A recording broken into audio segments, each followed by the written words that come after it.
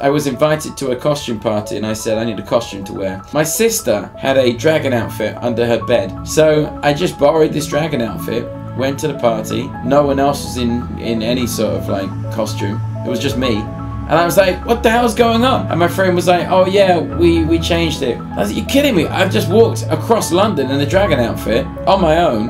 So I was drinking red wine in the corner, and my friend said to me, um, "You should do this in your act. You could be Puff the Magic Dragon." I said, "Wait, I could be Piff the Magic Dragon. You might have heard of my older brother, Steve."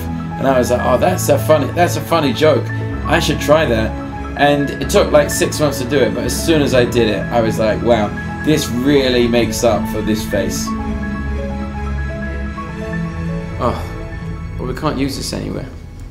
So, so just delete all that.